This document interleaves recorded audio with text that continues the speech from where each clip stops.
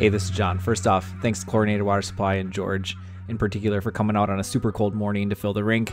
This is the second year that I've used a water truck to have water delivered to fill the rink. Uh, it takes a lot less time, uh, you know, minutes versus hours. I could have been out there all day with the hose filling it up when it was below zero, but instead, you know, we had it filled up in just about uh, 20 30 minutes. Water truck brings 5,200 gallons of water. Water comes out at about 55 degrees. You can see that's why we had a lot of steam.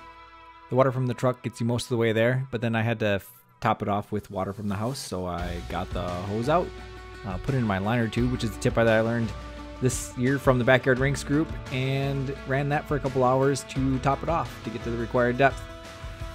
While that was going, I got the kick plates out and the bumper caps from the NiceRink kit and set those in.